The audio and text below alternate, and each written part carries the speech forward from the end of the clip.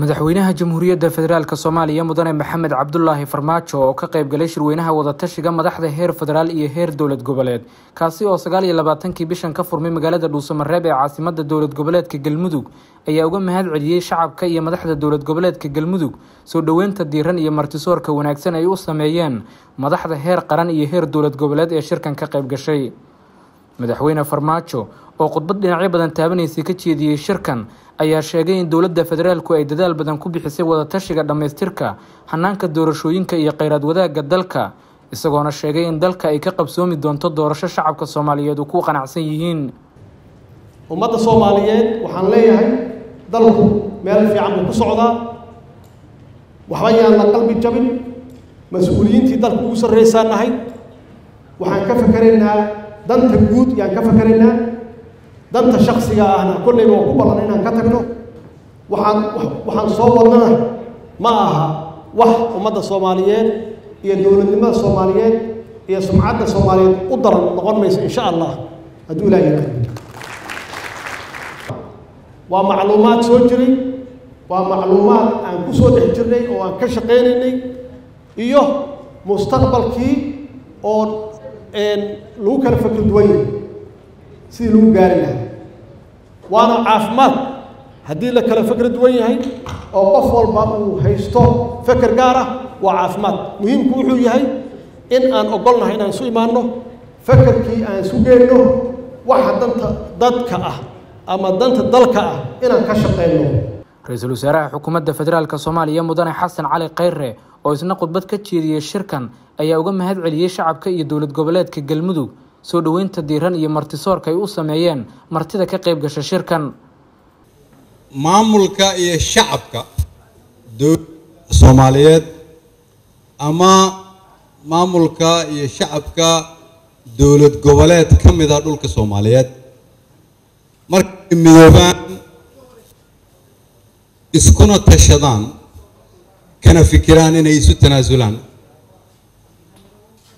waxay muujinaysaa in si deg deg ah horumar lagu gaari karo. Reer galmudug ayaa taasna iftiimiyey waa idiin hambalyeynaya reer galmudug hadday aad tihiin. Madaxweynayaasha dowlad goboleedyada galmudug puntland jubbaland koonfur galbeed iyo hirshabeelle oo madaxda qaranka la qabay mahadcelinta iyo bogaadinta shacabka iyo dowlad goboleedka galmudug ee martigelinta shirka ayaa iyaguna sheegay inay muhiim tahay in dalka ay ka qabsoonto doorasho heshiis lagu wada yahay. Waxa ayna sheegeen muhiimadda ay leedahay in wax weliba laga hormariyo isu tanaasulka iyo ka shaqaynta danta guud. Shirweynaha wadatashiga madaxda heer federaal iyo heer dowlad goboleed oo muddo ka socday magaala madaxda galmudug ee dhuusamareeb ayaa lagu lafaguray qodobo muhiim u ah wadatashiga heer federaal iyo heer dowlad goboleed sida hanaanka geedi socodka doorashooyinka ammaanka iyo dhaqaalaha dalka cabdinuur maxamed axmed agaasimaha warfaafinta iyo xiriirka warbaahinta madaxtooyada qaranka ayaa warbaahinta u akhriyey warmurtiya si wada jira looga soo saaray shirkan. Waxaa shirku adkeeyey midnimada iyo wadajirka dadka dalka iyo dadka soomaaliyeed.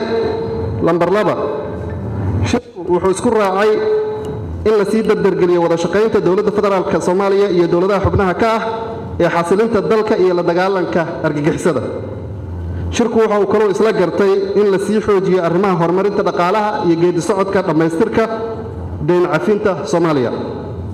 Madaxdu waxay isla meel dhigeen in dalka ay ka dhacdo doorasho ku qabsoonto wakhtigeeda oo lagu wada qanacsan yahay.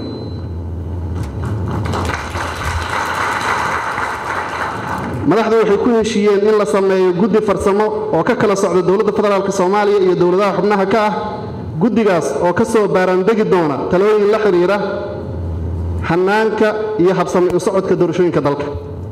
Madaxdu waxay isku raaceen in shirka labaad la isugu yimaado magaalada dhuusamareeb ee caasimadda galmudug shan iyo tobanka bisha ogost si loo dhammaystiro geedi socodka doorashooyinka dalka. Shirku waxa uu u mahadceliyey dowladda iyo shacabka galmudug soo dhoweynta diiran iyo martigelinta wanaagsan ay u sameeyeen madaxda iyo wufuudda soomaaliyeed ee ka soo qayb sidoo kale shirku wuxuu bogaadinayaa dib u heshiisiinta ka hana qaaday galmudugta cusub taasoo ay ka dhalatay inay martigeliso shirkan wadatashiga ah ee looga tashanayo ayaha soomaaliya. Taasi waxay ku timid hoggaaminta wanaagsan ee madaxda galmudug iyo bisaylka ay gaareen keeda si nabadda iyo horumarka salka loogu dhigo. Ugu dambayntii shirku wuxuu u mahadcelinayaa beesha caalamka kaalinta muuqata ay ka geysanayaan dib u dhiska iyo horumarinta dowladnimada soomaaliya. Shucayb maxamed cali warbaahinta qaranka caasimadda galmudug